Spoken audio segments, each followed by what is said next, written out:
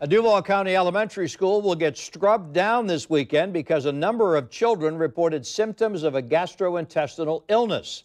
News 4 Jax reporter Kelly Wiley is joining us outside Bartram Springs Elementary with what parents need to know. Kelly?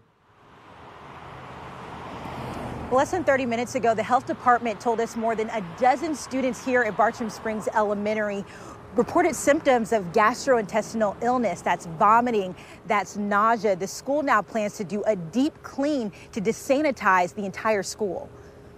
This is the post sent out to parents at Bartram Springs Elementary.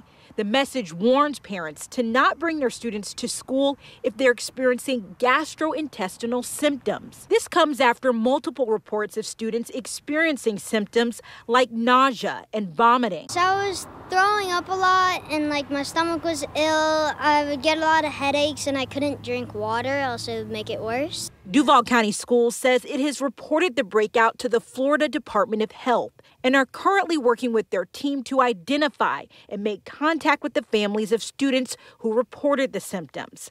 The district says there is no determined cause as it's being reviewed by the Department of Health. Um, you don't know what they're contracting and passing back and forth and stuff like that. We asked if any other schools were dealing with similar symptoms.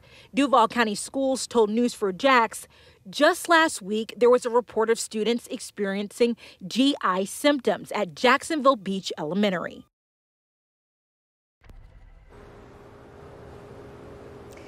And the health department says that it was more than a dozen students that reported having those symptoms, but they still can't pinpoint an exact number. They're still actively investigating, trying to pinpoint the cause of all of this. As I said, the school plans to sanitize the school and do a deep clean. They're asking any parents that have students that have similar symptoms, that vomiting, the nausea, to report that to the front desk of the school. On news4jax.com, we posted that number.